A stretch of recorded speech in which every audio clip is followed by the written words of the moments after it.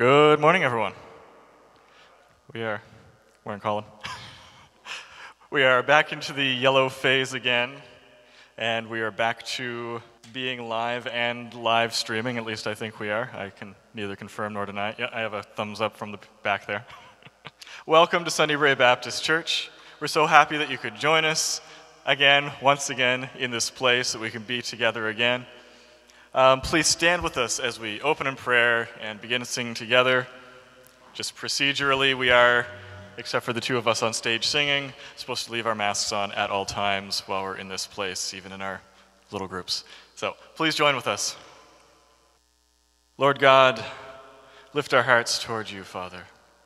In this time of Advent, in this time that we seek to celebrate, that we, this time that we look forward to celebrating what you have brought us, to celebrating the time of Christmas, God. I pray that you will fill our hearts with joy and with hope, even in this time, even in this year, Lord. May your spirit move in this place and join with us as we worship you. In Christ's name, amen.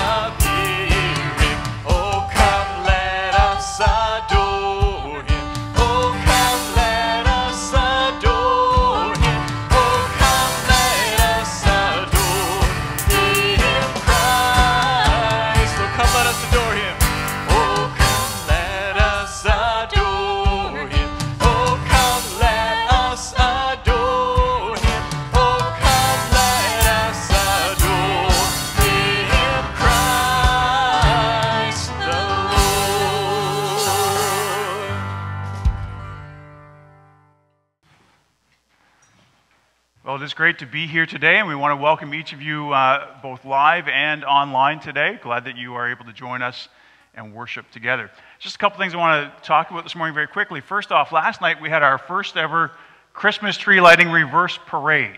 Uh, now, the last few years we've had this big Christmas tree lighting. Uh, it looked a little different this year because we had to do it contactless, of course. And so we ended up having uh, people from our church came, decorated their cars, looked like floats you would see in a parade, and then people came and drove through. We had a great time last night. A lot of people from the community just kind of driving by and saw these crazy people with lights uh, and wanted to come in and see what was going on. In fact, uh, there was this one carload of ladies who were from out of town. They said they drove by, saw these lights, had to come in and see what this was all about. And their comment as they were leaving, they said, This was literally the best thing we've seen all year. Uh, and so, you know, we just had a great time together. Thank you to everyone from the church who came out, put all their time and effort and energy into making that possible for our community. So, thank you for that. Coming up, a couple of things. First off, this Thursday, we have an event called Simply Christmas Jingle Jam. I was waiting for a big reaction to that. Uh, nobody knows what that is probably unless you've seen it on Facebook, but simply uh, just a fun event for the whole family. It is a social or physically distanced event, so you won't be here crowded around a group of people. You have to pre register for this, so we know you're coming, but there's going to be some uh, decorating of some cookies and some games played and, and just a few things like that. It's an event for the whole family. So I want to encourage you to look it up on Facebook. You can see some more details there and register for that for Thursday evening. And of course, coming up uh, less than two weeks away now, we have Christmas Eve. And we always have a Christmas Eve candlelight service here. In fact, we have two of them one at 4 o'clock, one at 6 o'clock. We will this year again have 4 and 6. Please do go on and register in advance so we'll know uh, how many to plan on in each service and, and just we can make sure that we are, again, physically distanced in that space. Uh, but we'll come, we'll have our Christmas Eve candlelight service. It will also be live streamed, so you will be able to see it uh, from home as well if you are unable to be here to join us in person. I think that's just about all the announcements I have for this morning. Uh, so let's continue in worship together.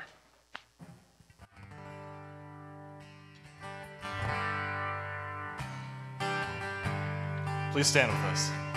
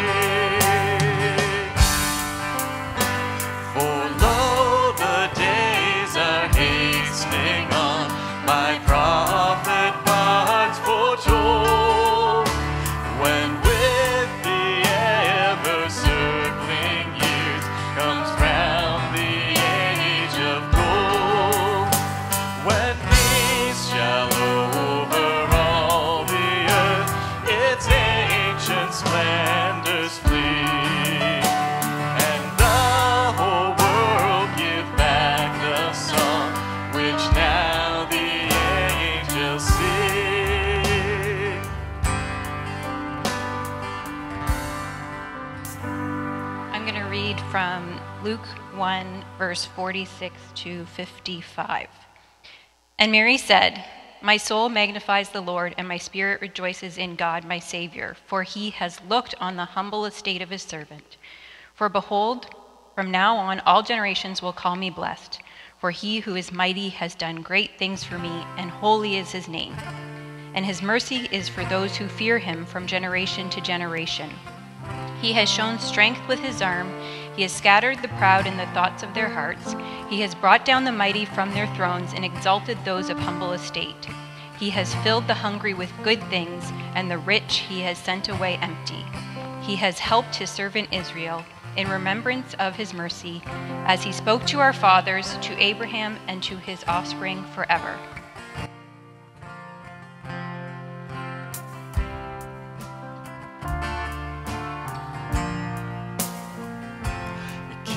To pass, a child was conceived, a virgin girl betrothed in Galilee.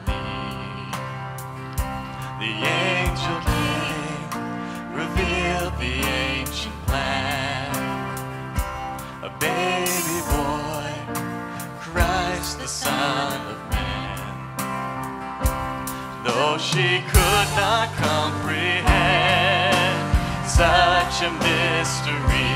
Just a glimpse of you revealed was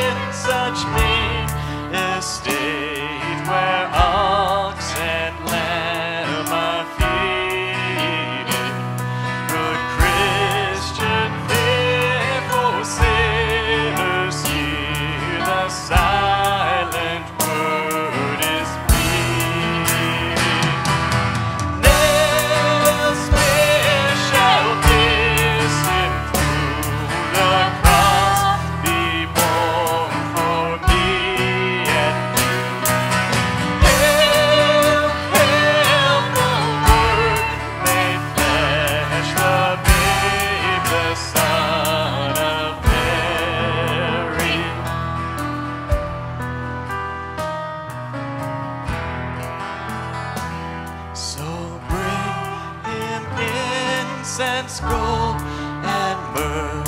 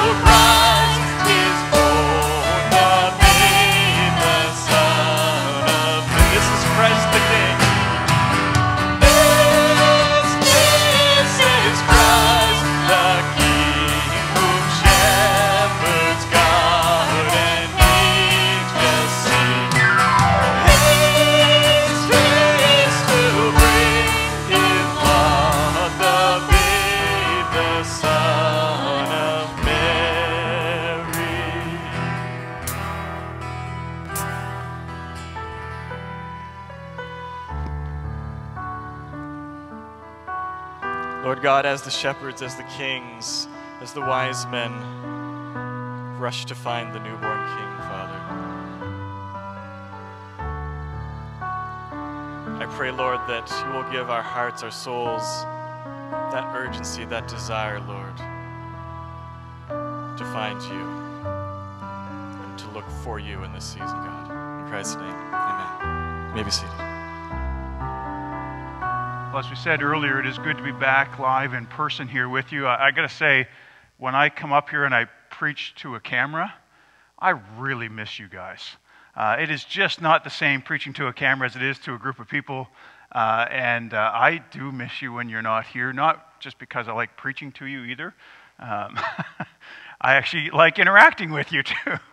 but uh, it is good to have you back in this place today.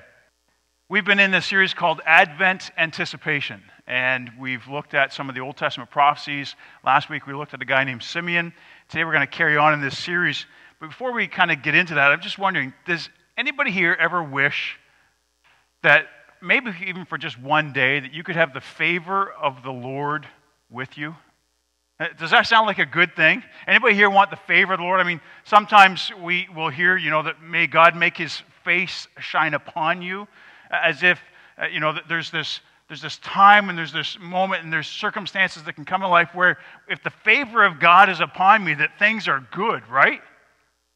And if I was here today I said, listen, I've been talking to God and uh, I can give one of you his favor today.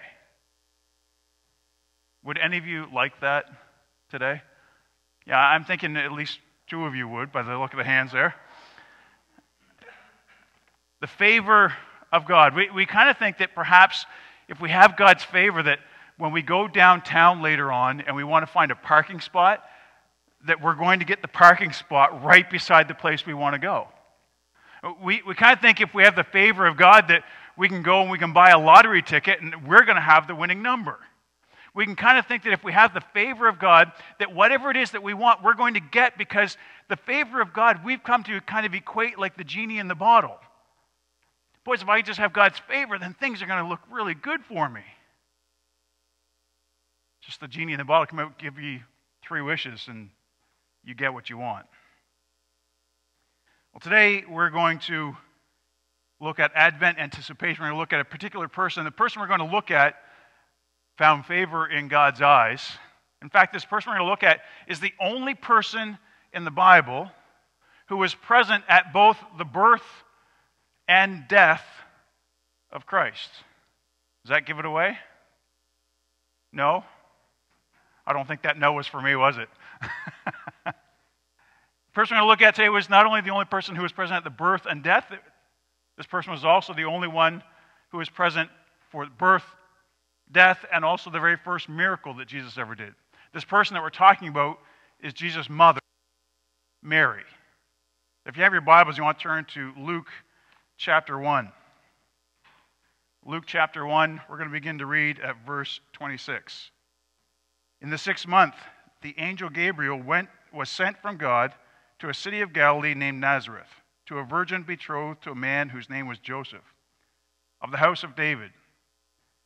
And the virgin's name was Mary. And he came to her and said, Greetings, O favored one, the Lord is with you. But she was greatly troubled at the saying and tried to discern what sort of greeting this might be. And the angel said to her, Do not be afraid, Mary, for you have found favor with God. And behold, you will conceive in your womb and bear a son. You shall call his name Jesus. He will be great and will be called the Son of the Most High. And the Lord God will give him the throne of his father David, and he will reign over the house of Jacob forever, and his kingdom of his kingdom there will be no end. Mary said to the angel, How will this be since I'm a virgin? The angel answered her, The Holy Spirit will come upon you, and the power of the Most High will overshadow you. Therefore, the child to be born will be called Holy, the Son of God. And behold, your relative Elizabeth, in her old age, has also conceived a son. And this is the sixth month with her who is called barren. For nothing will be impossible with God. And Mary said, Behold, I am the servant of the Lord. Let it be to me according to your word. And the angel departed from her. The favor of God. In fact, twice here in these verses, she's, she's re- referred to as having God's favor. Right when the angel comes, he says, Greetings, O favored one. And then just a little bit down, he says, You have found favor with God. And so, if Mary is anything like us, she's thinking, Great, I can get a parking spot right where I want to go. I can get that lottery ticket. I'll get the big gift I want at Christmas time. I'll get, you know, whatever it is that I've found favor with God. But note what the angel says to the one who is favored. Oh, you are highly favored. Now, you're going to have a baby. Your whole life, Mary, is about to get turned upside down on its head. You are going to have a baby. It is going to be painful. It is going to be troublesome. In fact, this child that you're about to have is going to completely rearrange, reorganize your little teenage life that you have. Your life is about to change forever. Oh, and by the way, can you go tell Joseph that you're pregnant? Remember, it said that she was betrothed to be married, so she's engaged. And it also says she's a virgin, so her and her betrothed have never been with each other. And she has to go and tell this man that she's supposed to marry, I'm pregnant. Uh, now, look, I, I'm a married man.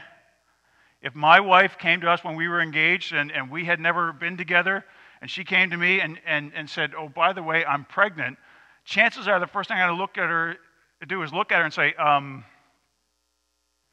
Story, let's go. I, I need to hear what's going on. And so she knows she's got to go to her future husband and say, By the way, I, your teenage fiance, am pregnant. Knowing that the moment she does that, he has the right to disown her. He has the right to call upon those in the community to come and have her stoned. And by the way, in this generation, I'm not talking about smoking joints. I'm talking about people picking up rocks and throwing at them at her until she is murdered, stoned to death. They had that right to do to her because she was pregnant by some other means than the man she was betrothed to. And this was the right that they would have. So, Mary, just, you found favor with God. You're pregnant. Now go tell your husband, your future husband, go accept all of the consequences that will come from this. And we think being highly favored means we're going to have good fortune in our day. Maybe some of you are here today or watching online, you're thinking, man, this has been a string of a year of just things that have happened in my life. Like it's just one thing after another, after another, after another. I wish that God would just favor me because for the last nine months, for the last year, for the last 10 years, whatever it is, my life just seems to be this constant turmoil of things that are going on. And did you ever think that maybe in the middle of the turmoil, that is God saying to you, that doesn't mean that you're not favored. In fact, that could absolutely mean that you have found favor with me. Did you think that in the middle of the turmoil, that actually could be the favor of God upon you? Because Mary's life entered turmoil the moment that she found favor with God and was with child. You who are highly favored. We carry on in the reading. And the angel says in verse 31 And behold, you will conceive in your womb and bear a son, and you shall call his name Jesus. He will be great and would be called the Son of the Most High. And the Lord God will give to him the throne of his father David, and he will reign over the house of Jacob forever, and of his kingdom there will be no end. Mary's response to that is this How will this be since I am a virgin? Now, when you look at what the angel has said to her, you're going to have a child. And then he goes on and describes this child. He describes the greatness that will be Jesus, the greatness that will be the Son of God being born into this world, who will remember for hundreds of years the promised one who would come. We talked about this a couple of weeks ago in the prophecies. The one who would come to fulfill all the prophets, who would be the ultimate prophet, the ultimate priest, and the ultimate king. And the angel says, he is going to sit on the throne of his father David. He, the angel is saying, This is the new king of Israel. But Mary got stuck at the beginning of what the angel said. She's, I don't even know if she caught any of the fact of who this child would be. She's like, wait a second, did you say I'm getting pregnant? How is this supposed to happen? And I wonder if sometimes in our lives, God comes and, he, and he, He's telling us the incredible things that are going to happen, and He's talking to us, sometimes directly, sometimes indirectly. He's telling us through His Word that there is a day when He will come again and He will reign in this earth. And we kind of get stuck. Wait a second. Uh, did you tell me I was favored because today hasn't been a good day? Mary is stuck back where the angel started. Yes, Son of Most High. Yes, he will rule over the, house of Jacob forever on David's throne. But did you tell me I'm pregnant? How is this supposed to be? Didn't you know? Did you fail biology, Mr. Angel? Because I'm a virgin, and uh, you know, here on earth, it doesn't happen that way. She's stuck in that moment. She has an angel speaking to her telling her that God is coming to reign once again. Remember, 400 years have passed that God has been silent. And now an angel is speaking to her about what God is going to do and how great and mighty and wonderful this one who is coming will be. But she's stuck at the beginning. You see, the things that Mary may have anticipated she may have anticipated when she woke up that morning that, man, I'm going to get to see my fiance today.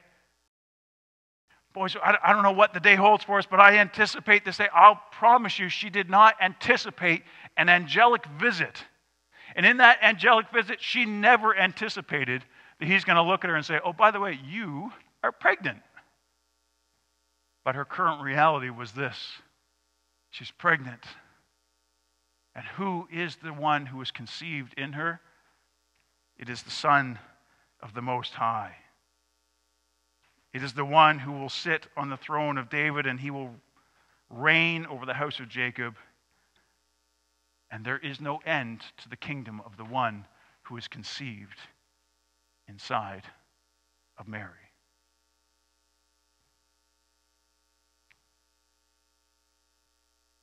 You go through this story of Mary and Joseph, and we read that Mary was highly favored, and we think there must have been something very special about Mary. What is it about Mary that set her apart from the rest of, rest of the created world? What set her apart in that moment?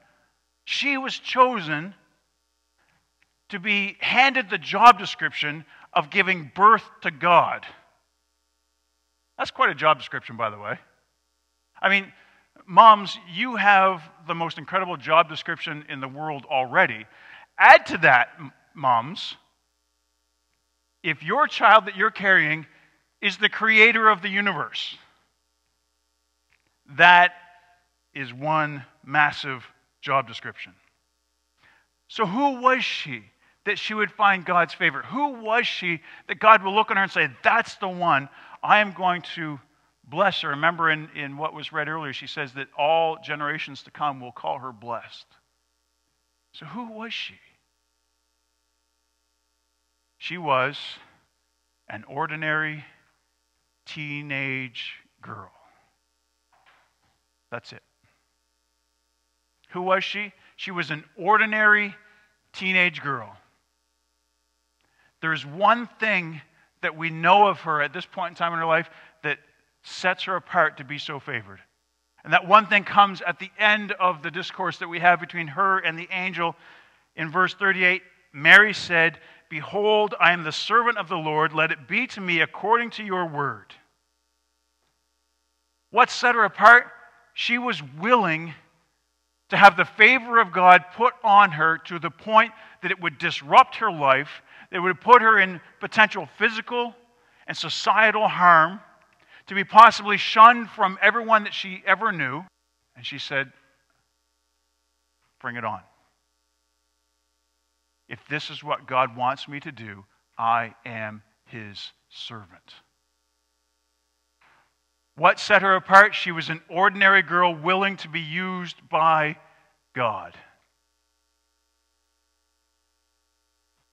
And if you were to ask me, how in the world is God going to be brought to this generation in this day and age in the year 2020 in Canada? How is God going to be brought into this world? He's going to be brought by average, ordinary people who are willing to be used by God. Let me rephrase that. I'll put it in the Christmas version. How is God going to be birthed to our generation? God will be birthed to our generation through average, ordinary people who are willing to say, I am God's servant. May he do to me as he has said. I believe strongly that our world needs people who will do exactly this. When you think about it, I said it is an incredible job description that Mary had. She was given the task of being the mother of God. And, and so, God, who created everything in the natural world that you see around you, somehow is going to leave glory in, in terms of He's all present He's going to leave his all presenthood and he's going to put on fingers and toes and a nose, and he's going to be formed inside the belly of Mary that she can birth him into this world. Did you know that you and I have the exact same job description as Mary? Because when we call on Jesus Christ to come into our lives, to, to act on our behalf, interceding before God on our behalf, we have been given a gift. It is the Holy Spirit of who? The Holy Spirit of, you can answer this. I know you have masks on, but you can still answer. The Holy Spirit of God living inside where?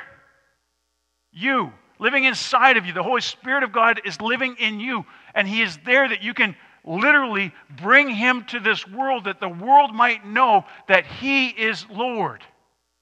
We have the same job description that Mary had. She was to carry God inside of her and bring him to the world. We have the same role. We carry the Holy Spirit of God inside of us that we might bring Christ to the world. This is the job that we have. Now, sometimes, if you hang around church long enough, you're going to hear people who say, Boys, I wish God would bring a revival. I wish He would shake things up a little bit. I wish He would just come and, and we would see just the change in people all around. I think God says, um, I did that already. I showed up and I put my Holy Spirit inside of you.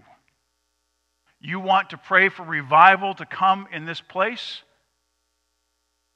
I've brought it. It lives in you. See, sometimes we want God to just do all these things outside of us. We want Him to change the world around there, and we just want to be able to sit back and say, Oh, isn't God great? And look what He's doing. And God is saying, I have put all the power of everything that you read in the New Testament when Jesus did all of his miracles and, and everything that he said and did. He said, I have put all of that power inside of you through the Holy Spirit of God, and I've given you a job description to go into all of this world and make me known. To birth Jesus to this world. Church, we come to Christmas with the anticipation of celebrating the coming of Christ. As, as people who, most of us here would be people who would follow Jesus Christ as Lord, then when we anticipate Christmas, we anticipate that, that this is the celebration of Jesus coming to this earth. But do we also anticipate that daily we know that he not only came to this earth, but he died and rose again that we might know him? He ascended into heaven, and before he went, he said, It is better for you if I leave. Why? Because there's another one coming. The Holy Spirit will come, and he will bring power and courage and strength and challenge into your life that you might make me known. Jesus, the one who we celebrate that he came as a baby, says to his disciples, the people who would follow him closely, It's better for you that I'm leaving because the Holy Spirit will come. And some 2,000 years later, we sit in this church and we have the Holy Spirit of God present and active in this place. And somehow we can sit back and say, but we want revival to happen out there. And God says, I've brought revival to this place and it lives in you through my Spirit. Are you willing to be my servant? Are you willing to go and bring me into this world? Now, one of the things that's happened in our culture is, is we like the easy way around things. If Mary had heard this proclamation from the angel and wanted the easy way around things, she would have said, um, I'll tell you what, my neighbor is a really nice person, and you should go and show your favor on them. Because I don't really want my life disrupted. I don't want to be put out of my nice, comfortable little space where I am right now. I don't want to have to step out and bring God into this world. I don't want to go through all of the pain that that will bring, literally physical, emotional pain that it will bring. I don't want to have to watch my son die on a cross. But her response, she said, I am the Lord's servant. And sometimes I get upset over the most silly, mundane things. Sometimes I walk down my street, my neighborhood, I walk around here, around the church, without any consideration of the people around me who don't know Christ. Mary said, I am your servant. May it be to me as you have said, I will bring Christ into this world. Church, if I could have one prayer for the year 2020, it is not that COVID disappears. It is not that somehow this new Pfizer vaccine that's on its way does exactly what it says and we're all able to go back to our regular lives more quickly. My prayer is that the church of Jesus Christ would recognize that we have the Holy Spirit of God living in us, and we would say, May it be to me as you have said. We will go into this world, and we will teach, and we will preach, and we will baptize, and we will see this world make a decision as to who you are, God. We would see our neighbors come to know Him, we would see family come to know Him. But we have got to be less comfortable than we are now. We have to come to a place where we say, Behold, I am the servant of the Lord. Let it be to me according to your word. Let's pray. Behold, I am the servant of the Lord. May it be to me according to your word. Behold, I am a servant of the Lord. May it be to me according to your word. Behold, I am a servant of the Lord. May it be to me according to your word. God, as I repeat these words over and over, I repeat them Because, God, I need. I need to do exactly what Mary did. I need to say, Lord, you, you have put your spirit inside of me. Not so, God, not so that I can quench the spirit, not so that I can just kind of hide the spirit, not so I can keep the spirit to myself. But God, so that your power and strength live inside of me to make your name great in this world, to, to literally birth Jesus in this generation. So, Father, I am a servant of the Lord.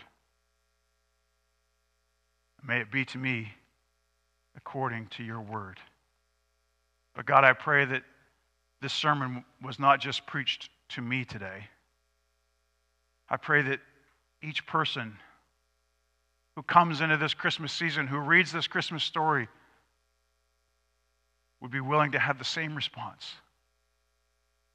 Father, we want to be your servants in this world. Forgive me for the times when all I do is look upon myself. All I do is look to my own gain, my own glory, my own hopes, my own dreams, my own thoughts and anticipations of what this day and tomorrow and the next week will bring.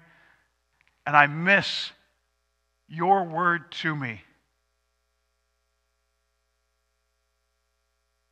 Or just asking me to be your servant.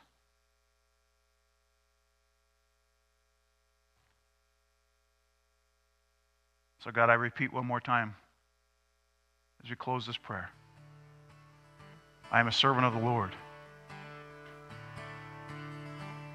May it be to me according to your word. We pray this in Jesus' name.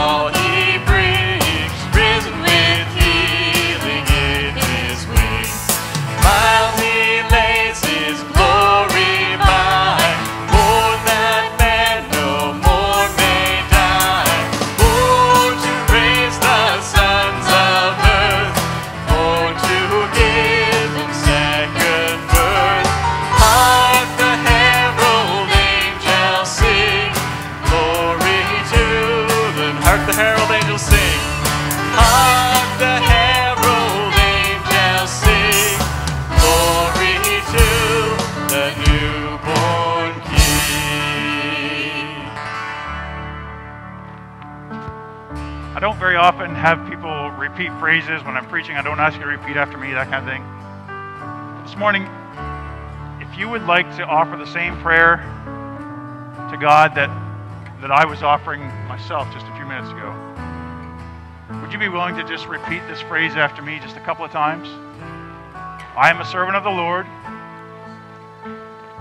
May it be to me according to your word. I am a servant of the Lord. May it be to me according to your word.